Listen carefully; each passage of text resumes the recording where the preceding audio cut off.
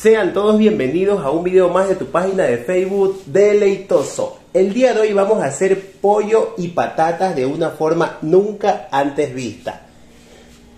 Observa qué delicioso quedó.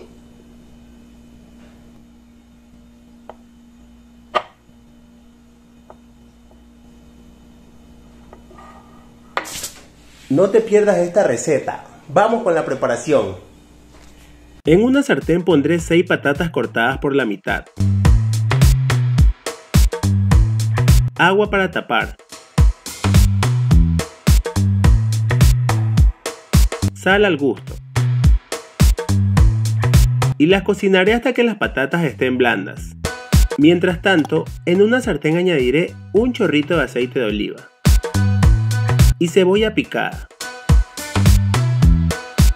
dos dientes de ajo y sofreiré bien estos ingredientes. Pondré 800 gramos de pechuga de pollo y mezclaré. Ahora agregaré medio pimiento picado, una cucharadita de sal, una cucharadita de pimentón, una cucharadita de pimienta negra, una cucharada de extracto de tomate. Y mezclaré todos estos ingredientes hasta que se seque todo el agua del pollo. A continuación voy a triturar las patatas que pusimos a cocinar previamente y los sazonaré con orégano al gusto,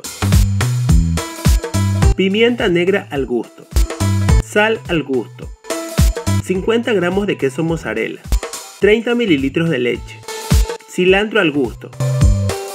Después mezclaré todo muy bien. Moldearé el puré de patata en forma de bola. Amasaré y haré un agujero en el medio. Y se quedó así. Pondré el puré de patata en una sartén untada con aceite de oliva.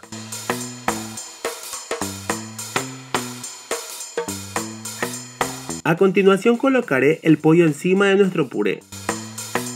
Y encima del pollo añadiré mozzarella al gusto.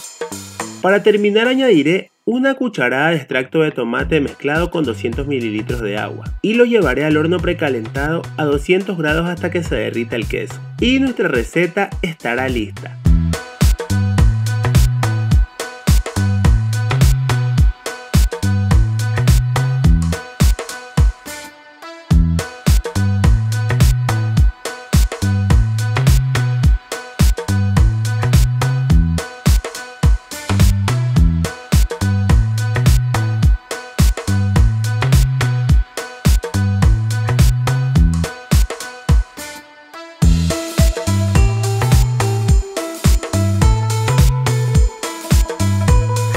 Mira lo increíble que quedó esta receta.